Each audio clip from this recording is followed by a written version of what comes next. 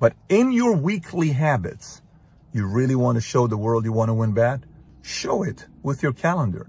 Very few people want to show their calendar.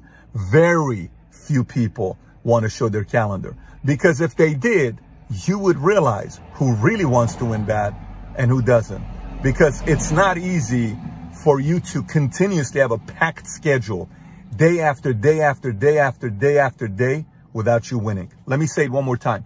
It's mathematically impossible for you not to win at the highest level if your calendar is packed from day till night every single day, the entire year, minus a Sunday that you get to yourself six days a week. This is if you want to win at the highest level.